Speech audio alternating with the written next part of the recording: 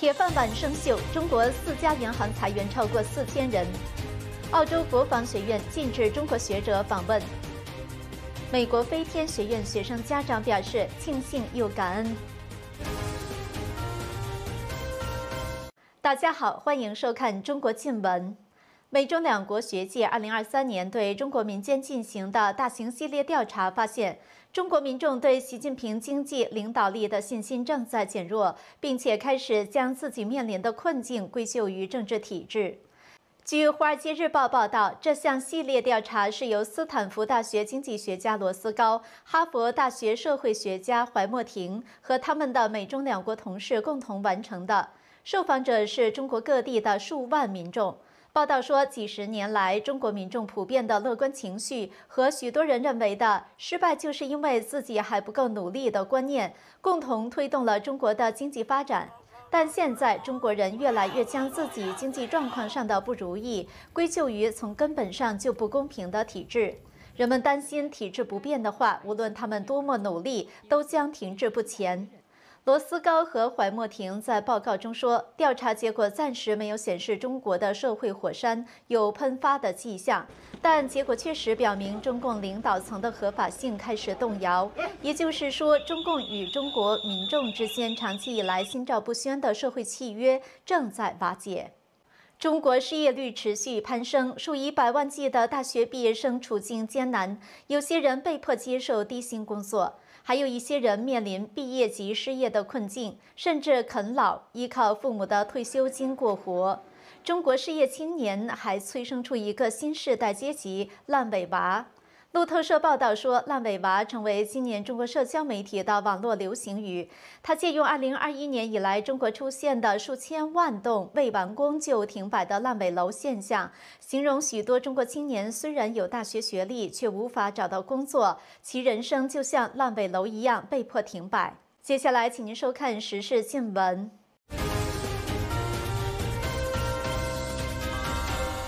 中国经济复苏乏力，以往被称作“铁饭碗”的银行业正在陷入减薪和裁员的困境。最近，多家银行发布财报，其中有四家银行上半年裁员人数超过四千人。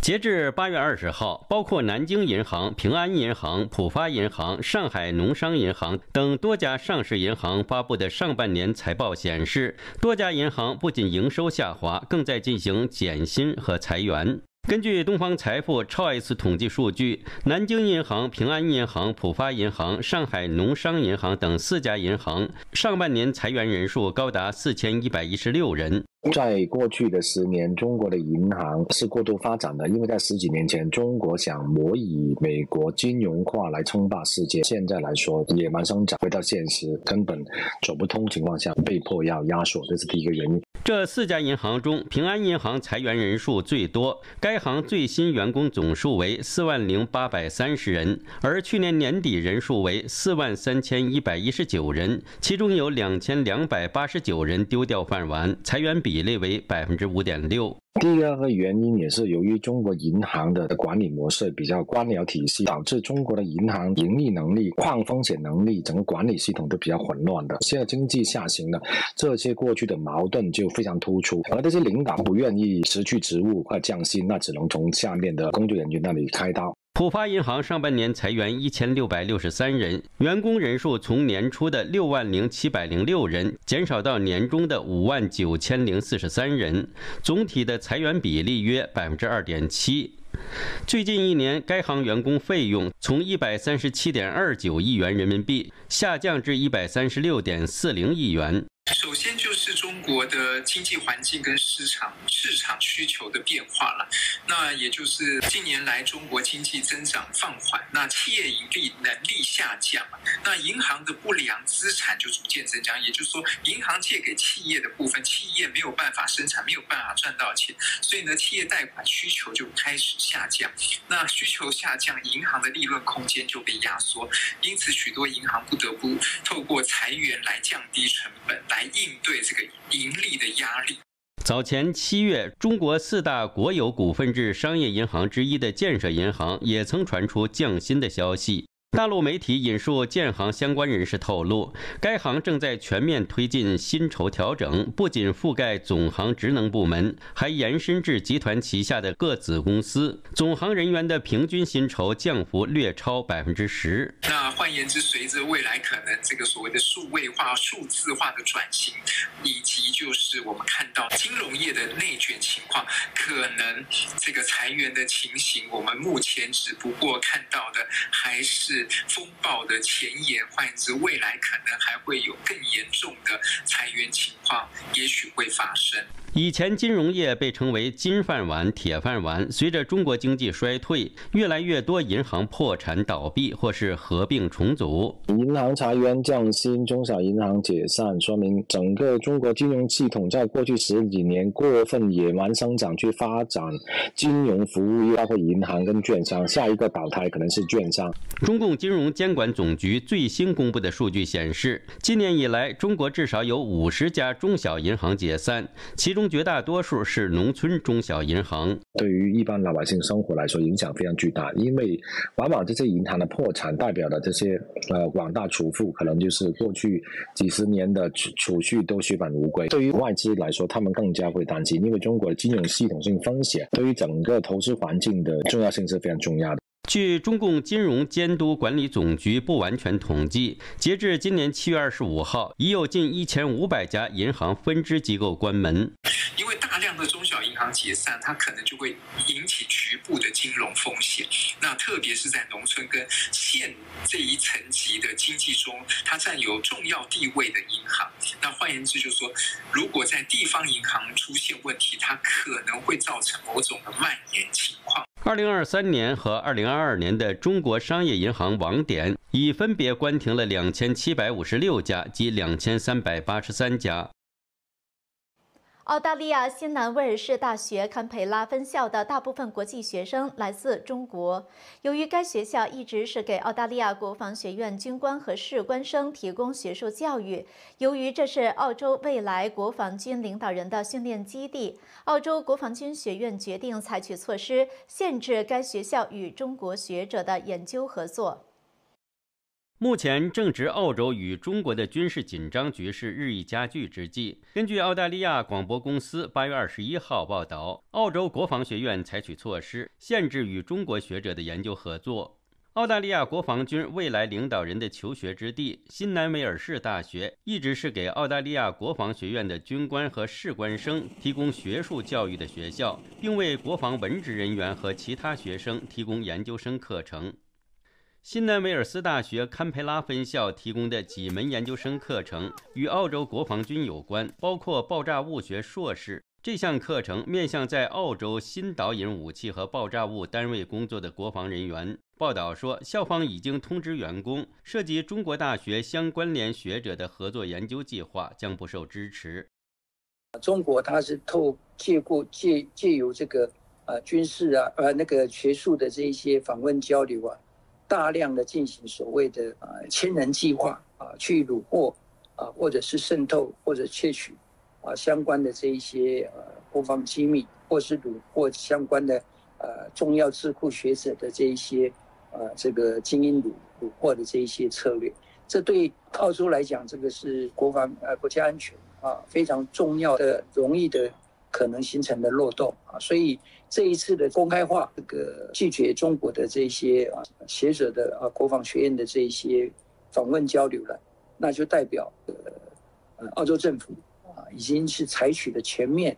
防堵啊啊中国各种情报窃密的可能的管道。台湾国防院国防战略与资源研究所所长苏子云指出，澳洲政府对华政策早已经转向，现在只是进一步的限缩。主要原因是呃，对于中共的这种透过学术渗透的方法来呃窃取一些呃军事技术或者是思想进行防堵。其实，在二零二零年，也就四年前左右，澳洲就已经有提出中共呃透过海洋研究窃取澳洲的一些呃水下机密资料。还有科学的合作，窃取澳洲的雷达技术等等的这一种事实，所以当时先是先就特定项目禁止与中共合作，那么现在就进一步的扩大了。台湾前国防大学政战学院院长余宗基表示，澳英美三方安全伙伴关系去年在美国公布核潜艇计划，澳洲成为美国在印太地区的一个主要停靠基地。澳洲啊，现在所扮演的这个区域上的角色，等于是美国啊及其盟邦啊最重要的一个军事训练啊重镇，同时也是未来。啊，这个武器装备啊，还有这个核核子攻击潜舰啊，重要的驻地，所以相关多的这些国防机密啊、文件啊、军工啊，或者是武器装备啊，啊，会让澳洲在啊这个国防战略的这个地位啊大幅的提升哈。那这个也就势必成为中国它窃取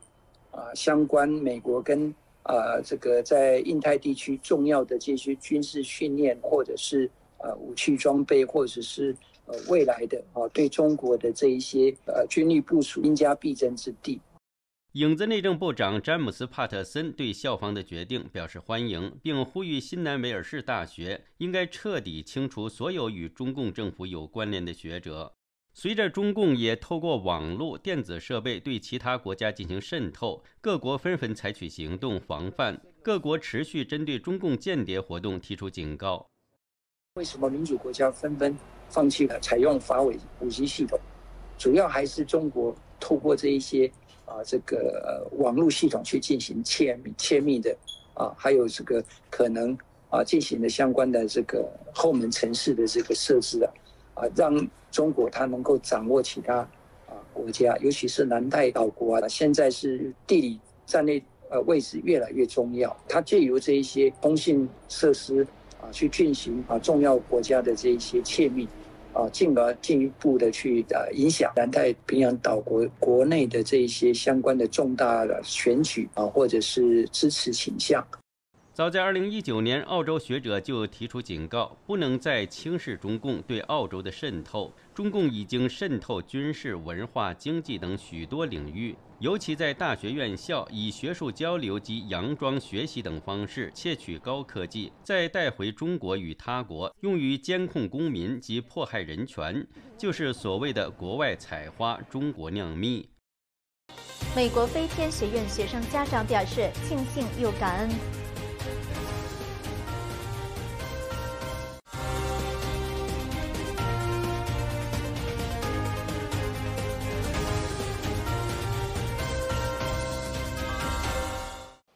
创立于北美的飞天艺术学院，为学生提供卓越的高等教育，培养学生对古典美德的欣赏。二零一三年，一对从中国来到美国的母女选择了飞天艺术学院。女儿不仅得到了顶级的中国古典舞的专业训练，还培养了高尚的道德品质。看到女儿的成长，母亲对当初的这个选择感到既庆幸又感恩。二零一三年，为了躲避中共的迫害，修炼法轮功的吕世宇带着十三岁的女儿韩光子逃往美国。她的丈夫则仍然在中国东躲西藏，避免被中共警察抓进监狱。一家三口从此远隔重洋，无法再聚首。在美国，母女俩有机会观看了神韵艺术团的演出。吕世宇被纯善纯美的演出打动，有了让孩子加入艺术团的向往。演出就是特别的纯净，呃，特别的优雅，我感觉是从来没见过的一种在世间很少能见到的演出，所以很希望孩子也去呃学习这个，并且将来有可能的话从事这个吧。神韵艺术团是全球顶级中国古典舞与传统音乐艺术团。不仅以古典艺术的方式复兴和弘扬真正的中华传统文化，也在演出中揭露中共对法轮功的迫害。吕世宇希望女儿可以参与其中，解救包括他爸爸在内的中国大陆受迫害的同修。当年恰逢直接为神韵艺术团培养人才的飞天艺术学院招生，韩光子幸运地通过了考试，被学校录取。这是北美第一所提供传统音乐、美术与中国古典舞系统训练的艺术大学，招生条件非常高。飞天学校呃是全免费的呀，不仅不收学费，而且食宿费也都不收，还发服装。对，还发服装，就是全免费的。所以其实我非常幸运，我这么低的收入，而且我岁数大了，四十多岁到美国，这个学语言也很费劲，就是根本呃不可能能培养孩子搞艺术，而我就是这种收入。还能培养孩子去搞艺术，而且能进这么世界知名的那个艺术团体，我觉得我非常幸运，也非常感恩。将十四岁的女儿送进这所全日制寄宿学校学习，吕世宇没有丝毫担忧。他们是按照真善忍来践行的，来规范他们的一切言行，在生活中做生活的指导的。所以这样的人都是好人中的好人，所以把孩子交给他们，我非常放心，放一百个心。飞天艺术学院不仅培养学生的高超艺术专业技能，还非常注重学生的品德修养和精神修为。入学不久，吕世宇就感到了女儿的变化。他在进飞天以前，之前已经呃显露出一些叛逆的苗头了，就是，呃，我说什么他都爱反驳，然后特别瞧不起我的那个样子。等着呃去飞天学校不久之后，我再见到他。可能也就是甚至是几个星期之后，就是他发生了翻天覆地的变化，就是对我非常的呃有礼貌，然后很听话，呃，也就是好像素质提高了一个层次，就孩子像变了一个孩子一样。他学习成绩挺好的，我记得 SAT 还考了挺高的分呢。同时，韩光子还有了跟母亲一样的愿望。希望能够尽早参与神韵演出，救人反迫害。二零一五年，他终于获得了进入神韵艺术团实习的资格。作为见习演员，跟随神韵巡回演出，在世界知名剧院的舞台上表演，实现了自己和母亲的夙愿。神韵就是一块净土，是一块净土。舞蹈演员之间关系非常好，就像亲姐妹一样，他们极少有矛盾，从来不争吵。孩子去超市买东西，经常看到这个就说啊，这是呃我这个这个同学喜欢吃的，我给他买。然后又看着另一个东西啊，我我这个这个同学需要这个东西，我给他买回去。就是真的，他们，哎，感觉说是人间用人间净土来形容，真是一点都不过分，就是人间净土。二零二三年，韩光子从舞台上退役，转到幕后工作，换了一种方式继续参与神韵演出。十一年过去，当年叛逆的小丫头已经长成了一名成熟的法轮大法弟子。二零二四年四月，韩光子在中国的父亲第五次被中共警察绑架，关进了看守所。孩子在神韵巡演途中听说了之后，就飞回来，四处找议员营救，给中国政府写信，呃，接受采访啊。所以孩子他爸爸一一个月关了一个月就放出来了。这些所有的一切事情都是孩子一个人独立完成的。看到女儿的成长，吕世宇既欣慰又感恩。飞天的老师们。嗯，神韵的前辈们把我的女儿教养的这么好，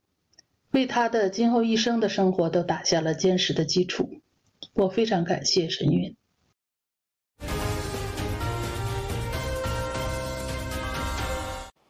下面我们来关注中国大陆各地民众维权的情况。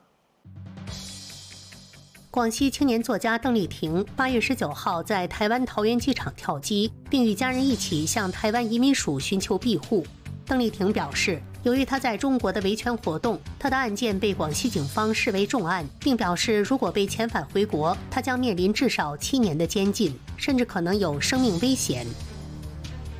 湖南株洲维权人士侯彪峰被以颠覆国家政权罪判刑三年六个月，并将于九月十六号刑满出狱。他的妻子魏欢欢正在被居住地派出所逼迁，株洲贺家土派出所警察多次找他谈话，让他和孩子们搬走。最近还反复找房东施压。天津维权人士郑建慧因儿子遭校园霸凌，从1999年开始维权。案件经反复申诉，2006年在中共最高法立案，认定原判决依据的鉴定有误，但案卷在最高法档案室被隐匿、被篡改、被销毁。今年八月十九号，证监会再次到最高法院维权，在最高法门前喊院长张军依法履行法定职责，彻查此案，但他立即被扣押，之后移交给北京警察。江苏淮安维权人士王默七月份因前往杭州找工作，被当地国保带回，以涉嫌寻衅滋事罪监视居住。八月十八号，王默发消息说他已经被释放，回到了淮安区葛老庄家中。随着厄瓜多尔暂停中国公民免签入境，中国的走线客急忙另辟蹊径，玻利维亚成为他们的新跳板。评论人士指出，不管是怎样的路线和难度，都难以阻挡中国的走线大潮。六月中旬，厄瓜多尔宣布暂停中国公民免签入境，以遏制中国非法移民以该国为跳板走线他国。这一新措施让中国的走线客们备受打击，但很快他们就找到了新跳板。据《华尔街日报》报道，有些中国走线客试图从更为遥远的玻利维亚首都拉巴斯开始陆路旅程，因为波国仍开放中国公民落地签。此前，想要借走线进入美国的中国民众视厄瓜多尔为重要中转站，他们经由全球各地前往厄瓜多尔，再冒险由陆路经哥伦比亚及巴拿马等中美洲国家潜入墨西哥，再经美墨边界进入美国。而玻利维亚位于厄瓜多尔南部，两国中间隔着秘鲁。从拉巴斯到墨西哥紧邻美国加州边界的蒂华纳，路途长达七千英里，且中途要过九个边界口岸。据报道，为免引起中共海关注意，多数走线客都会先飞往非洲或欧洲的第三国，再转往玻利维亚。不过，玻利维亚的走线有人成功，也有人失败。一名在开罗和伊斯坦堡担任走线中介的帕克表示，走线变得越来越不顺利了。在七月的第一二周，他协助了二十多名中国走线客抵达拉巴斯，但第三周，当帕克试图将十名中国走线客从开罗送往拉巴斯时，其中八人未被允许登机，剩下登机的两人在抵达拉巴斯后也被遣返，原因都是玻利维亚方面质疑他们的饭店预订单无效。就说后面会越来越困难，这是必然的。但是对于那些需要离开中国的人，他希望去追求自由、去追求民主，这些人来说，哪怕就说再大的困难，他也只能离开，他是没得选的。在厄瓜多尔宣布暂停中国公民免签后，在专供有意走线者交流的网络聊天室内，一些人提出从对中国公民免签的苏利南进入美国。但需要穿过盖亚纳和委内瑞拉才能到达哥伦比亚，属于危险旅程。还有人甚至尝试从古巴搭船偷渡进入美国。不过，也有人认为这两种方式都是异想天开。洛杉矶法律工作者郑存柱表示，不管是把玻利维亚当成新跳板，还是其他路线，最终都只是增加了走线的成本和难度，但都无法阻挡中国人的走线潮。因为它走线的根本的原因啊，或者是中美之间的制度的差异，以及中国目前在共产党统治下造成的民生的艰难，所以它这个根本问题没有解决的话呢，靠厄瓜多尔一个国家把签证取消是没有办法阻挡这样的一个走线潮的。对那些已经下定决心甚至拖儿带女的带着父母亲走线的这些人来说呢，这一点难度啊，这一点成本对他们来说已经不算什么了。一名曾协助中国民众接洽走线事宜的人士向中央社表示，在厄瓜多尔集合后冒险长途跋涉，算是中低阶的走线方式。还有其他花费更高的方式。他感叹：“如果不是形势所逼，谁会大老远绕大半个地球，从拉丁美洲冒险走线到美国？”你看前几年通过折腾各种方式，什么打压教培业，包括房地产崩盘，包括地方的土地财政的终结，所以中国的经济会越来。会遇到越来越多的问题，同时再加上习近平采取这种走文革的，要搞文革二点零，对言论的控制啊，对这个异议人士的打压的力度的增加，所以会有越来越多的人为了追求民主自由，或者为了追求更好的生活，或者是为了子女的未来前程，他们都会走向选择路线来到美国。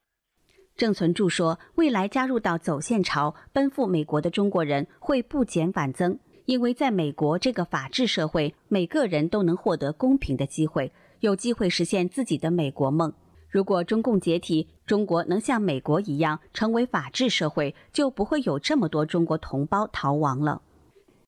中国民众表示，从小就被迫加入了中共组织，现在认识到共产党无神论是反天地的，声明退出。来看他的声明精选。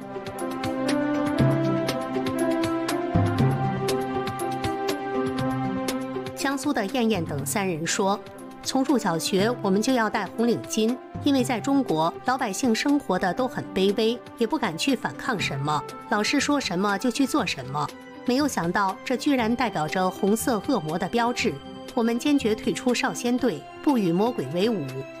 河北石家庄的姚福禄说：“我来自河北石家庄，共产党宣传的都是假大空。我听人说，做人不能随便乱发誓，特别是把生命献出去这类的话，不能随便乱说。共产党无神论是反天地的，不能为他陪葬。我是经历文革时代的，中共很多东西乱搞的。”法轮功全世界都有，就中共不允许？中共不是异类吗？自己宣的誓是要还愿的，我愿意把誓言作废，退出来。好的，观众朋友，我们这一期的中国新闻就到这里了，感谢各位的收看，我们下次节目时间再见。